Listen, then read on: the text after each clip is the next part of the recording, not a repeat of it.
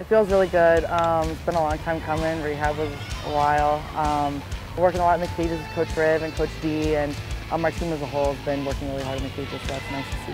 I think we need to come out with a little more focus um, right from the get-go and show a little bit more grit when we start getting down in the count and um, just down with the score in general. I think if we show more grit, we'll be able to win.